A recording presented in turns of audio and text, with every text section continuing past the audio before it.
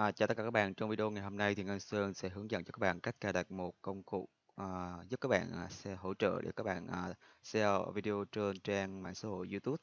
Thì đây là công cụ à, Ngân Sơn đã upload vào trong khóa học, các bạn có thể download, à, truy cập vào phần bonus và các bạn download công cụ này về. Sau khi các bạn à, download thì các bạn à, thấy giao diện đây là công cụ.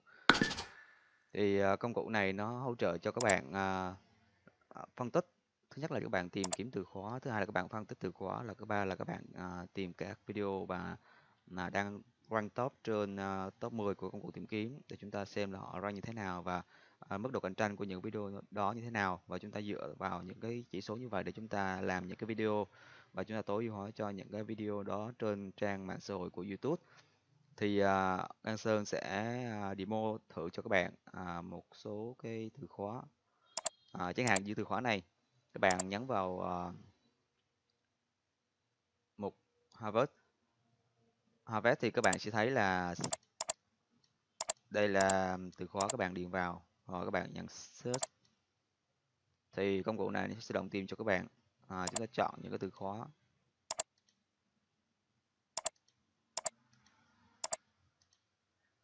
Rồi các bạn uh, có thể là export ra hoặc là các bạn uh, tiếp tục phân tích từ khóa thì uh, khi bạn phân tích từ khóa thì nó sẽ hiện ra cho các bạn những cái thông số các bạn chọn thế này. Các bạn chọn uh, phân tích từ khóa. Đây là những từ khóa mà các bạn chọn thì nó sẽ hiện ra. Đó. và các bạn chú ý là ở đây có những cái thông số mà nó đánh giá cho các bạn là tốt à, những từ khóa nào mà good thì đó là những từ khóa mà người dùng có năng tìm kiếm nhiều. Và các bạn khi các bạn tối hóa cái video đó trên top 10 của trang mạng xã hội YouTube thì ờ, các bạn sẽ nhận được rất là nhiều view từ ờ, cộng đồng. Thì ờ, các bạn nên lựa chọn những từ khóa như vậy. Rồi chúng ta thử chọn check cái top video trên top 10 rồi, chúng ta chọn, các bạn có thể select từng cái hay là các bạn chọn hết, phân tích tất cả.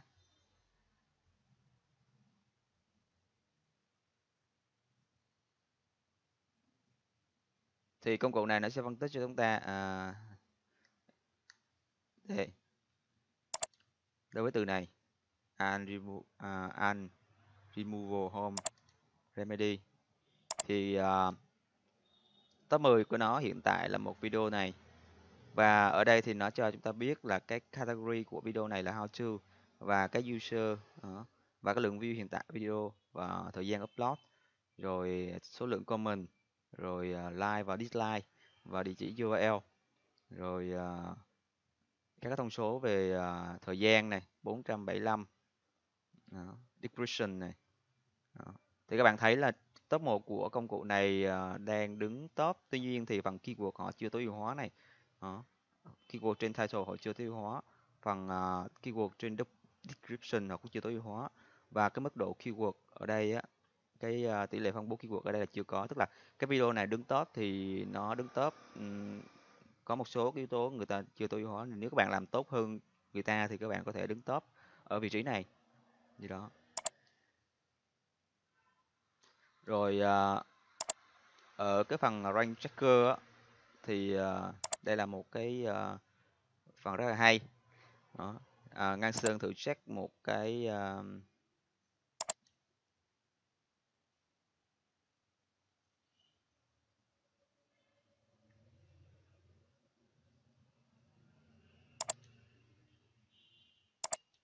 Ngân Sơn thử check một cái ờ, video mà Ngân Sơn đã share trên ờ, trang ờ, cộng đồng mạng xã hội YouTube. Thì các bạn thấy là đây là link địa chỉ của video.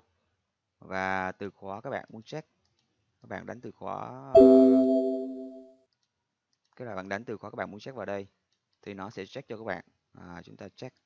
Thì đây nó thông báo là video này đang ở top 5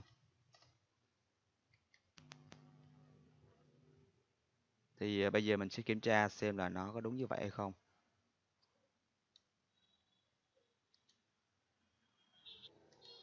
Rồi chúng ta sẽ check trên Firefox. Ở à, đây à, các bạn check trên Google à, Google.com à, các bạn gõ từ khóa vào. Và chúng ta search.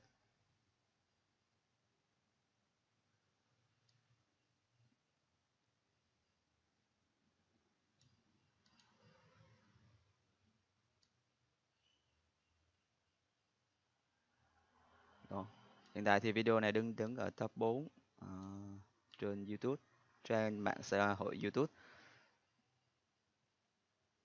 Còn trên Google thì nó chưa có đứng top.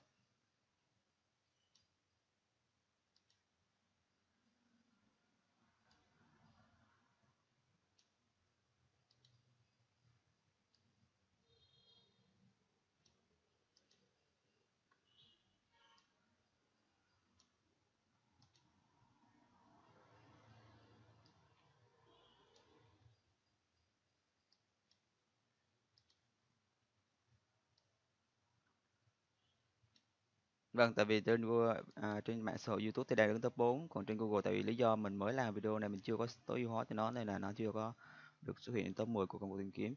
Đó, thì các bạn à, có thể thấy là công cụ này à, khá là hay. À, các bạn có thể sử dụng thêm tính năng upload của công cụ này. À, các bạn chọn à, video này rồi các bạn chọn thêm các cái à, đó thì các bạn nếu các bạn không upload vào YouTube thì các bạn chọn uh, chức năng upload YouTube ở đây. À, không không đăng nhập vào YouTube thì các bạn chọn chức năng upload YouTube ở đây. Đó. rồi à, phần này á, là phần à, dịch vụ của họ. Thì nếu các bạn không không có thì các bạn bỏ qua đi. Đó. thì chức năng chính của công cụ video này là nó giúp cho các bạn phân tích từ khóa phân tích video và checking video. Thì hy vọng rằng là công cụ này à, sẽ giúp cho các bạn à, tiết kiệm được nhiều thời gian khi các bạn à, tiến hành tối ưu hóa các video trên trang mạng xã hội YouTube.